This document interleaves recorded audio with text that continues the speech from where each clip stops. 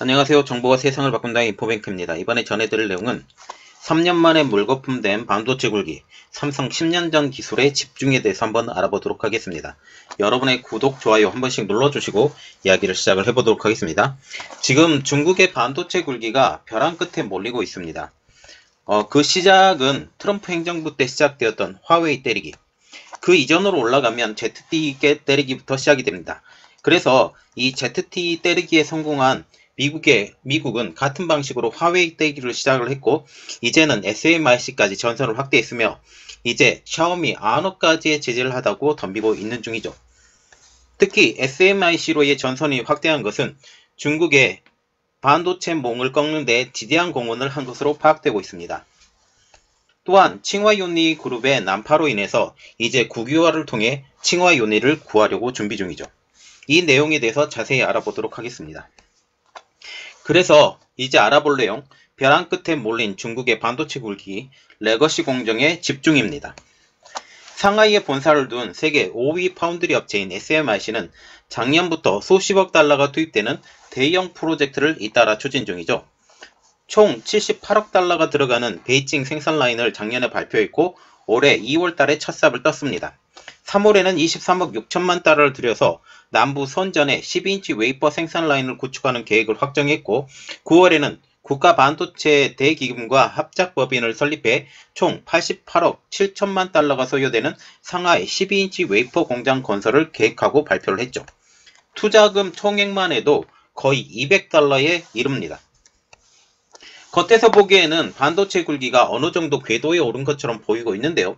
어, 그러나 실상은 그렇지 않다라는 거죠. 속내를 들여다보면 겉보기와는 좀 다르다라는 얘기입니다. SMIC가 발표한 세 공장 모두 28나노 제품을 생산하는 시설이기 때문이에요.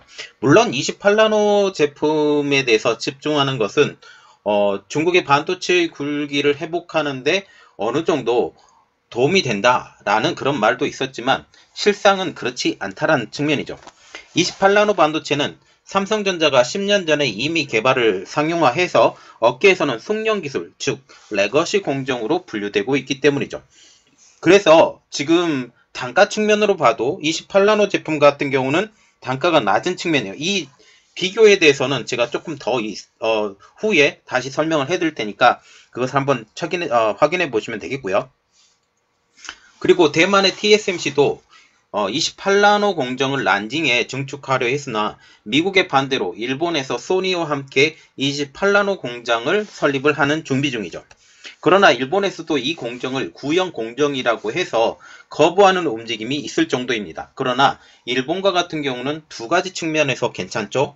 왜냐하면 소니가 지금 만들고 있는 것은 이미지 센서, 이미지 센서도 지금 28나노 공정을 사용을 하고 있고 자동차용 반도체, 르네사스를 중심으로 자동차 반도체가 있는데 자동차용 반도체도 이 28나노 공정을 많이 사용을 하기 때문입니다. 그러면 왜 SMIC가 레거시 공정에 집중을 할까요? 그 이유는 무엇일까요? 그것에 대해서 알아보도록 하겠습니다. 그 이유는 아주 간단하죠. 선단 공정에 대해서는 미국이 제재를 가하고 있기 때문입니다. 여기에 낡은 기술이긴 하지만 전 세계적으로 부족 현상을 빚고 있는 카메라 이미지 센서, 자동차 반도체 대부분이 28나노 기술을 이용해 생산하기 때문이죠. 이 분야에 대해서는 여전히 그 수요가 많기 때문에 시장성도 확, 어, 풍부하고 중국 내에서도 수요가 많기 때문에 이 시장성이 아주 좋죠. 용이하죠. 중국 정부가 추진하는 반도체 자립에도 어느 정도 도움이 된다라는 측면도 물론 있습니다. 특히 미국의 강한 반도체 제재로 인해서 10나노 이하 미세 공정이 지금 공정 개발이 불가능한 것도 또 하나의 원인이 되고 있죠. 10나노 이하 제품을 개발을 하려면 네덜란드의 ASML의 EUV 노광 장비가 필요한데 미국이 이 장비의 수출을 원천적으로 막고 있기 때문이죠. 여기에 거액의 연봉을 주고 데려온 인력들도 속속 이탈하고 있는 상황입니다. TSMC 출신 장상희 전 부회장 등 고위 기술 인력 3명이 지난 11월에 줄줄이 사퇴를 했죠. 현재로서는 삼성전자와 TSMC 그리고 인텔 등을 추격할 길이 요원해진 상황입니다. 또 다른 이유는 블랙리스트에 올라간 SMIC인데요. SMIC는 트럼프 행정부 때 미국의 블랙리스트에 오른 상황이죠. 행정부 블랙리스트와 국방부 블랙리스트 두 개가 다 올라가 있는 상황입니다. SMIC는 미국의 제재 범위를 28나노 장비까지 범위를 넓히기 전에 최대한 공장의 증설을 하자라는 지금 전략을 보이고 있습니다. 자, 지금 어, 그림이 하나가 있는데 이게 무엇을 뜻하냐? 5나노, 7나노, 12나노, 16나노, 28나노, 28나노, 40나노, 45나노, 50, 65나노, 90나노. 지금 이게 무엇을 뜻하냐면 그 12인치 wafer price라고 지금 얘기가 나오고 있는데 지금 어 진빨간과 같은 경우는 어 20년도의 가격, 평균 가격을 지금 얘기를 하고 있고요. 그리고 빨간색은 20, 2021년도의 평균 가격, 그리고 지금 회색으로 되어 있는 것이 어, 2022년도의 평균 가격을 지금 얘기를 하고 있죠. 어, 지금 보시면 90나노대가 38%의 가격이 상승할 것이다. 그리고 55나노에서 65나노대가 33%의 가격이 상승할 것이다. 40나노에서 45나노대가 30% 가격 상승, 20나노에서 28나노가 18% 가격 상승, 12나노에서 7나노가 10% 가격 상승, 7나노는 5%의 가격 상승이 있다라고 지금 얘기가 나오고 있는데 자, 그러면 우리가 생각을 해봐야 될 게 평균 단가 측면으로 보면 어, 우리가 조금 이해를 해야 될 상황이 있어서 제가 이해를, 이야기를 해드릴게요. 90나노대를 보면 가격이 원체 낮습니다. 그리고 어, 55나노하고 65나노대도 가격이 낮죠. 그리고 우리가 선단 공정으로 말하고 있는 7나노대와 5나노대를 보면 원래 시간이 지나면 지날수록 가격이 낮아져야 정상이거든요.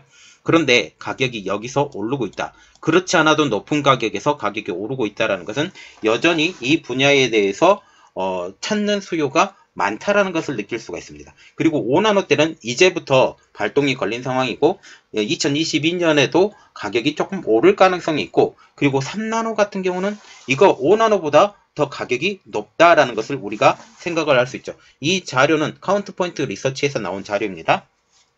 그래서 우리가 생각을 해야 될 때, 어, 지금, 레거시 공정이라고 불리는 26나노, 28나노대를 보면 가격이 지금 5나노 대비 거의 2배, 3배 이상 차이가 난다라는 거죠.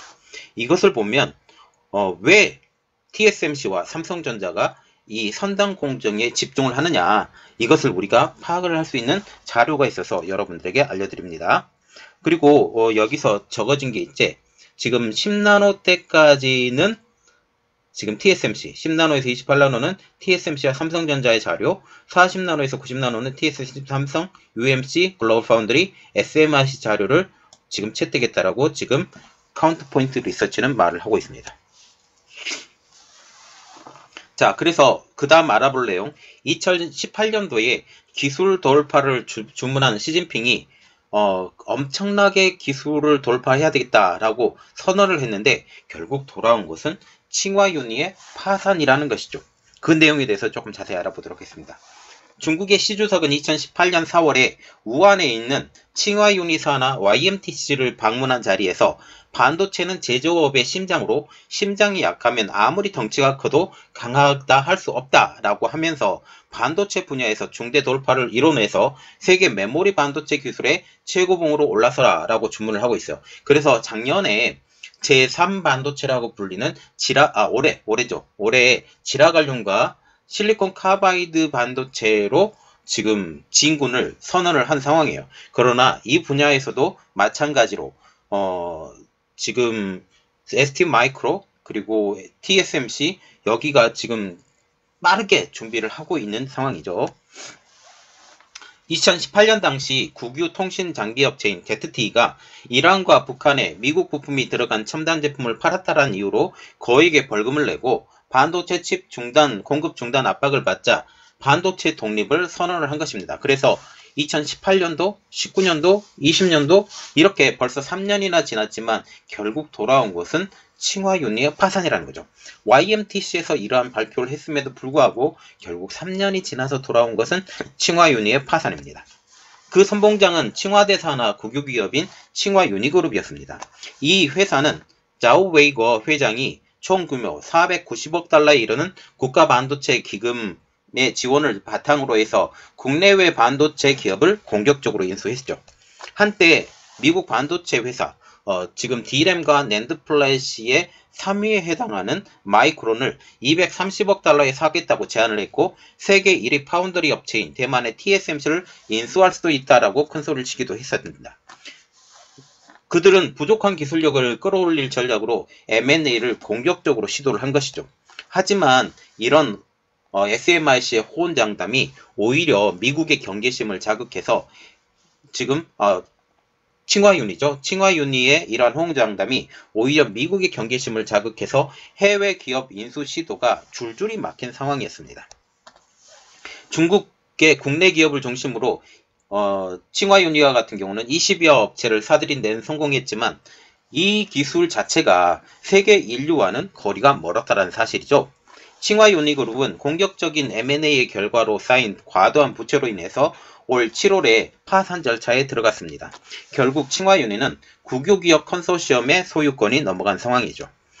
또한 지방정부 차원에서 추진한 우한 홍신반도체, 어, 대대적인 사기극이라고 알려져 있죠. 그리고 지난해 취안신반도체 등도 올 상반기 수조 원의 손실만 남긴 채 줄줄이 프로젝트가 중단이 된 상황입니다.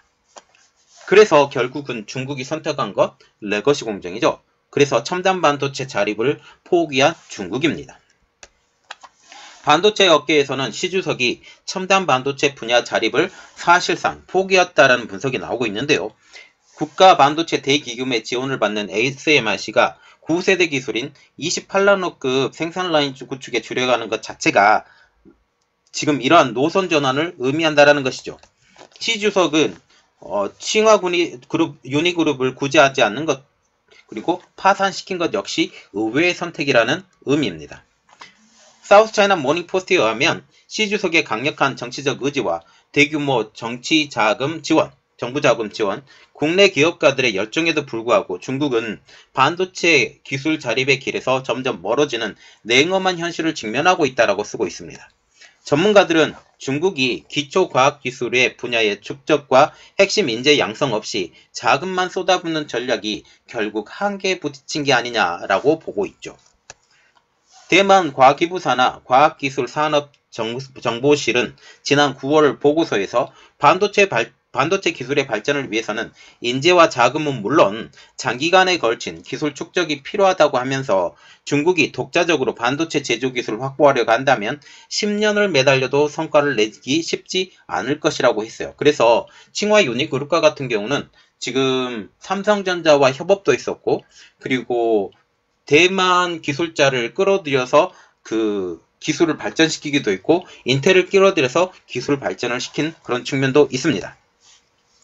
런정페이 화웨이 회장도 중국 언론과의 인터뷰에서 반도체 분야는 돈만 쏟아부으면 되는 업종이 아니다라고 선언을 했는데요. 그는 여기서 돈이 아니라 수학자, 물리학자, 화학자 등 창의적인 인재를 쏟아부어야 한다고 조언을 하고 있습니다.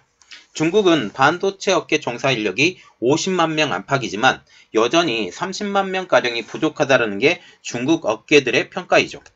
또 반도체 분야 인력도 첨단 제품 생산 경험이 전혀 부족해서 고급 인력은 거의 대부분 대만에서 수혈하고 있는 입장이죠. 국내 반도체 업계 한 관계자도 반도체는 LCD와는 달리 공정이 200여 개에 이르기 때문에 인력 몇 명을 스카웃한다고 쉽게 따라잡을 수 없다라고 하면서 미국의 제재로 당분간 어, 첨단 공정 도전은 쉽지 않아 보인다라고 하고 있습니다. 그러면 왜 중국이 이렇게 돈을 쏟아 부어가면서 반도체에 화력을 집중을 해야 됐을까요?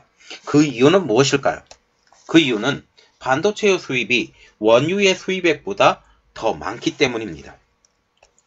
중국은 해마다 수천억 달러 규모의 반도체를 외부에서 수입하고 있습니다. 지금 어, 반도체와 원유 수입액 차이에 대해서 지금 얘기가 나오고 있는데 2014년도에 변곡점이 한 번 있었어요. 원유 자체가 반도체 수입액보다 훨씬 더 적어지는 그런 사태. 지금 그림만 봐도 정확하게 알 수가 있죠. 중국의 2020년도 반도체 수입은 지금 3,500억 달러, 약 416조에 지금 달하는데요. 단일 수입 품목 중에 당당히 1위를 차지한 품목이 반도체 수입입니다. 2019년도에 비해서 14.4%가 늘은 상황이죠.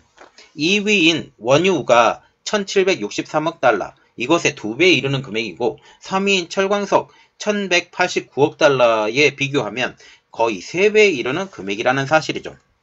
전체 수입액 중 반도체가 차지하는 비중은 벌써 17%가 됩니다. 그래서 거의 6분의 1에 육박하는 부분이 반도체 수입에 사용된다라는 거죠. 반도체가 중국 수입 1위가 된 것은 2015년.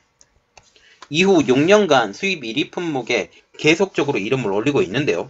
세계 1위 제조 국가다 보니까 제조 경기가 좋을 때는 도리어 반도체 수입이 늘어나는 양상입니다. 중국 정부는 2014년 반도체 산업 발전 추진 요강을 발표하면서 1차로 200억 달러 규모의 국가 반도체 대기금을 조성한 것은 물론 반도체 수입을 줄이고자 국산으로 대체하겠다라는 의도였었죠. 2015년에는 반도체 사업을 포함한 첨단 산업을 육성하는 방안을 담은 중국 제조 2025, Made in China 2025 프로젝트를 발표를 했습니다.